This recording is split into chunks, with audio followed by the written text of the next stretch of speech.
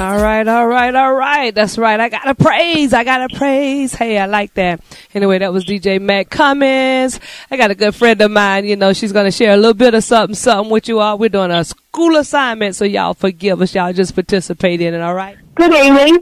This is a podcast introducing Miss Naomi Rahming, who is into two years of internet radio broadcasting. Hey. Awesome, Miss Naomi. Um, Miss Naomi, how did you come into uh, radio broadcasting, internet radio broadcasting? Oh, thank you for asking. Um, I just want to say thanks for thinking of me. And um, I got into internet radio broadcasting by way of my first album.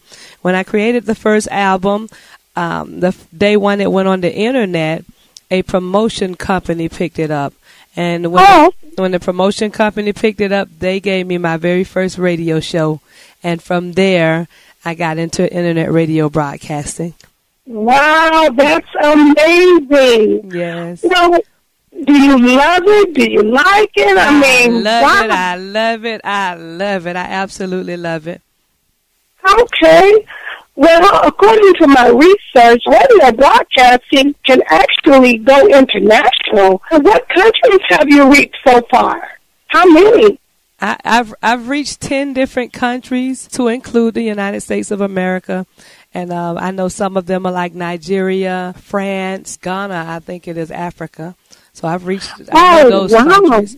Awesome. Well, my research shows that um, internationally, that it is deliberately aimed at the foreigners rather than the domestic audience. Do you ever talk to your domestic audience about the other countries that you have done broadcasting with? Well, it's always a pleasure to introduce the fact that you know we've reached other countries because um, if someone was interested in doing any type of marketing, they would definitely want to know that, and it would be an extension for them to get their music or their book or whatever they're marketing out there.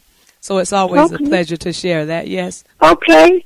Now, there are a lot of devices. I know the mobile devices, but what are some of the other devices that can be used to um to maybe get your broadcast, your radio broadcast station?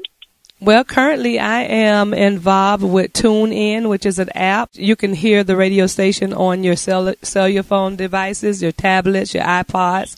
And what you would do is just download that TuneIn app. And once it's downloaded, then you go into the search box.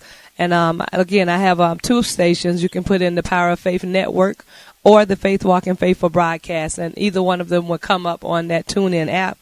And you know, there's other apps out there, but that's the one that I'm participating with. Well, what kind of music do you play on there?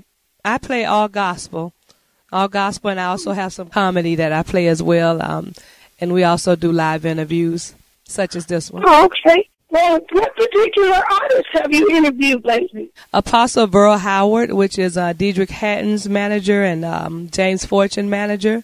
I interviewed Oh. her lately, yes. Okay. And um, also, I interviewed a guy, uh, Pastor uh, James Funches. Um, he have a new project out, and um, also is another one called Bricks No Sticks. Bricks No Sticks. I interviewed them what where they talked about the the stable foundations. Yes, ma'am. Well, Ms. Rahming, it's been a wonderful pleasure talking with you. Keep me abreast of your new endeavors, and I will be listening to your radio broadcast. I have listened to you before, and you have some awesome music. Um, I've been in your home, and I have seen you interview. I've heard you interview.